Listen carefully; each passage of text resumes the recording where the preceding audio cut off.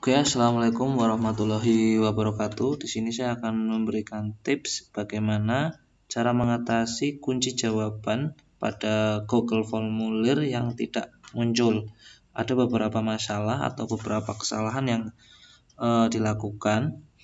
Uh, jadi tidak uh, kunci jawaban tidak muncul dan uh, untuk penskoran itu tidak muncul ya. Oke ya. Caranya praktis dan sederhana. Kita buka uh, Google Drive.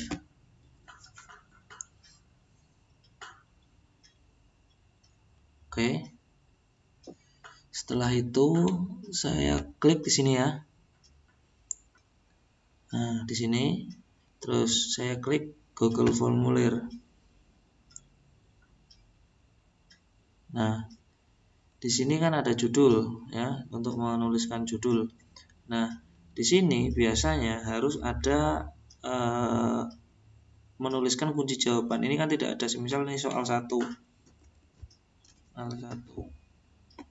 Jawabannya A, terus option kedua B, option ketiga C, option ketiga D, E keempat D, terus E.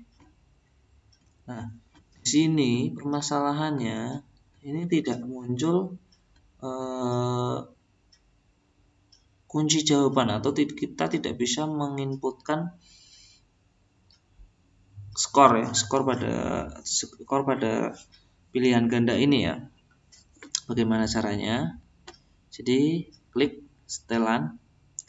Terus kita klik di sini quiz nah ini karena tidak aktif jadi kita harus aktifkan dulu. Nah setelah aktif kita simpan Oke. Nah, di sini otomatis akan muncul. Kalau sudah muncul kita e, berikan semisal kunci jawabannya C terus kita kasih poin 2 atau berapa ya, terserah tergantung soalnya ya. Itu selesai.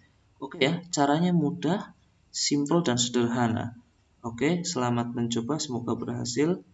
E, tetap semangat.